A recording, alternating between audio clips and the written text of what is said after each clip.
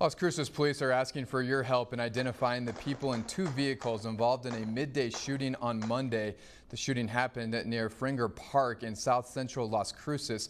Several callers reported two vehicles involved in a chase with people in both cars shooting rounds at each other. At least one residence on South Espina Street was hit by gunfire. No injuries have been reported. Las Cruces Dona Ana County Crime Stoppers is offering a reward up to $1,000 for information that helps identify those involved involved in this incident.